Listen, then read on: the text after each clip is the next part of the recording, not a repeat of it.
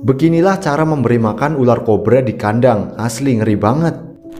Sebelumnya ular tersebut sudah berada di dalam kandang yang kurang lebih ada 500 kotak ular. Mereka diberi makan dengan ayam kecil dan dicampur dengan bubuk khusus untuk ular guys. Nah ketika pria ini memberi makan ular tersebut, ular itu ada yang nurut dan ada yang galak. Bahkan ada yang keluar dari kandang dan sangat agresif.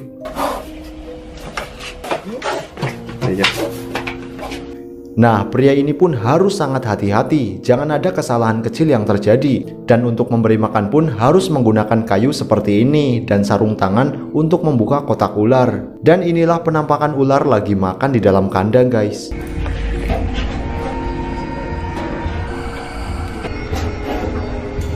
Ih, ngeri banget ya guys, nggak kebayang kalau sampai kepatok ular, auto tinggal nama dong.